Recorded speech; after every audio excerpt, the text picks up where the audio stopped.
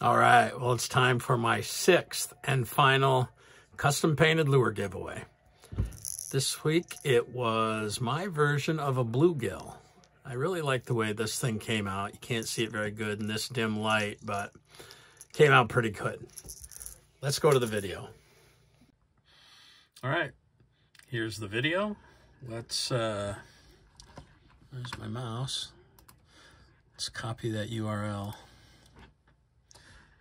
and we'll head over to the comment picker. All right, here's the uh, comment picker I've been using. Let's uh, paste in that URL. And I'm just going to use the keyword bluegill. If you put bluegill, that was good enough. Bluegill.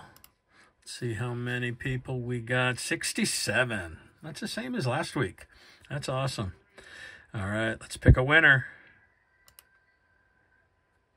The perfect combo fishing. This is a guy I've known him for a little while here on the YouTube, uh, Dalvin, and uh, uh, this is awesome. He'll put that uh, bluegill to good use. What is? What was his comment? Man, that looks yummy, Don. Hashtag bluegill question mark. All right. All right, congratulations, Dalvin. You are the winner of my version of a bluegill. I think in some of the ponds that you fish, this thing's going to do great because it only probably drops down a couple feet. Send me your contact information via email with your mailing address, and I will get this thing in the mail to you right away.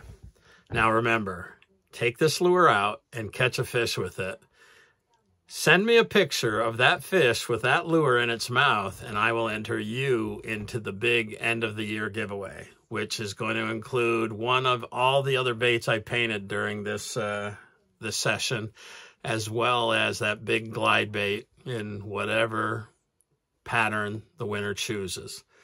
To all the rest of you, thanks for coming along. This was uh, a lot of fun painting up these lures and uh, and giving them away. Um, stay tuned because there's a big announcement video coming out tomorrow. Anyways, thanks for coming along. We'll see you next time. Peace.